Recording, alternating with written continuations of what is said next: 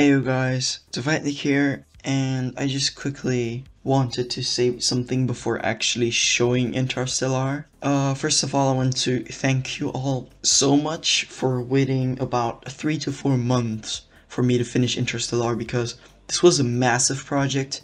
I had a lot of people that I worked together with and that I got feedback from and all that kind of stuff. I want to thank all those people and all the uh, all the people in my server. Thank you all so much. Before I show you Interstellar, I'm gonna quickly explain the meaning behind it.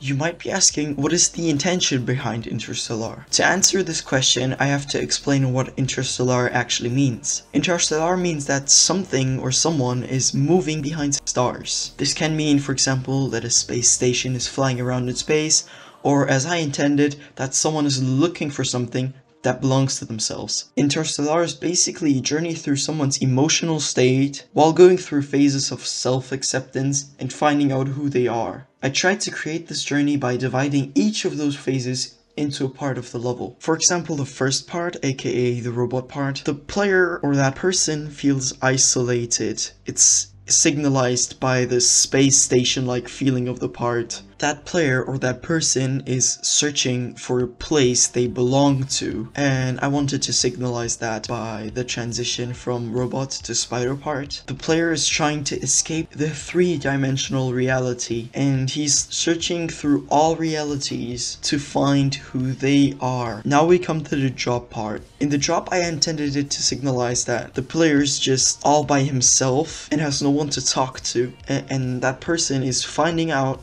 who they want to be and what they are. That emotional adventure is signalized by the energy and the fast pace of the part. The second drop part is just the person finding out who they really are. I tried to recreate that in the level by just having lots of spaces and those spaces are supposed to mean that there's something that the person didn't find out yet but is about to find out in the next part. At the end of the second drop part I intended it to show that that person actually finds out on who they want to be and in the third drop part that person or the player is accepting themselves themselves the way they are. I signalize that by choosing that as the last part of the job so it kind of gets a little more calm so it's just getting to the end of the journey of finding who they are and who they want to be. Now the last part, and personally also my favorite part design wise, is that person is